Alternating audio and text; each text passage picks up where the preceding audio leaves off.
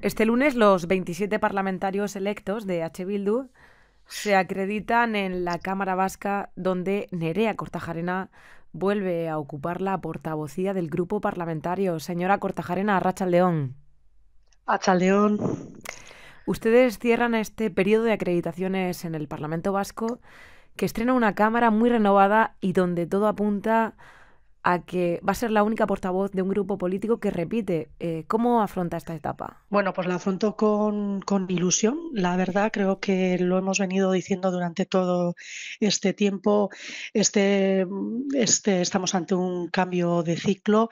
Eh, yo creo que en la próxima legislatura va a haber eh, grandes debates, o sea, se deben dar grandes debates porque nuestro país y en concreto esta parte también del país va a afrontar retos muy importantes y además lo hemos visto a lo largo de, toda la campaña. Tenemos importantes eh, problemas que se han ido acumulando y que requieren ya y la ciudadanía nos urge a solucionarlos, como es la situación de Osakidecha, Creo que hay otro tema que no ha salido mucho en la campaña, pero que va a ser muy relevante y es todo el tema de los cuidados, la transición eh, ecológica. Bueno, creo que tenemos unos eh, temas muy importantes eh, por delante que abordar y, bueno, creo que Euskal Herria Bildu, con 27 parlamentarios y parlamentarias, creo que vamos a poder desarrollar una tarea y una labor muy importante en estos cuatro años que tenemos por delante. Salvo sorpresas, en unas semanas Imanol Pradales va a ser investido presidente con el apoyo del Partido Socialista para reeditar ese gobierno de coalición ¿no? entre PNV y Partido Socialista. ¿Qué valoración hacen desde su formación en el hecho que no haya hecho ronda de contactos con el resto de formaciones? Pues es muy llamativo, ¿no? Son, son tiempos que por las dimensiones y por el impacto, digamos, que va a tener en nuestras vidas todos los retos que tenemos por delante y por las situaciones, digamos, de esos problemas que se nos han acumulado, como ya mencionaba antes, como la vivienda o Saquidecha, son momentos eh, que van a requerir de colaboración, ¿no? Y yo creo que que hay que generar eh, condiciones para, para, poder, eh, para poder colaborar. Y el no hablar pues yo creo que, no, es una, eh, no, es un, no es un buen inicio. ¿no? Creo que es muy importante entender que por muchas prisas que puedan tener algunos o por, mucha, por muchas ganas que tengan algunos de, querer hacer como que aquí no ha pasado nada, pues eh, la realidad es que en este momento la correlación de fuerzas en el Parlamento también ha cambiado.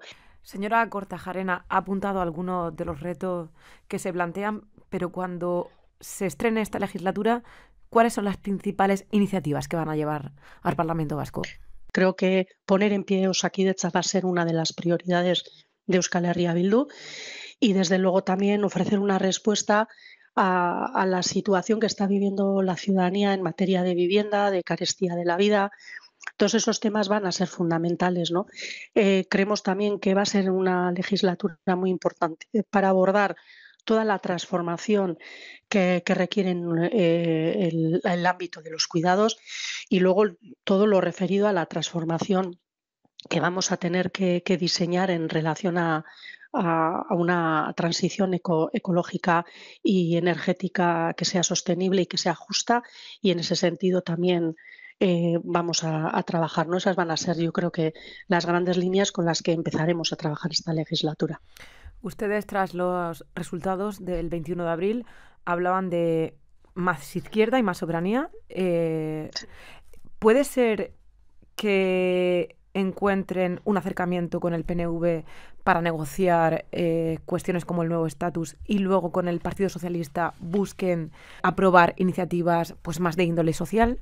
Nosotras creemos que en primer lugar este hubiera sido el momento este para poder eh, abordar y para poder hablar de, cómo, de cómo eh, convertíamos ese mandato en una agenda de país y ofrecíamos una respuesta a esa demanda de la ciudadanía. ¿no?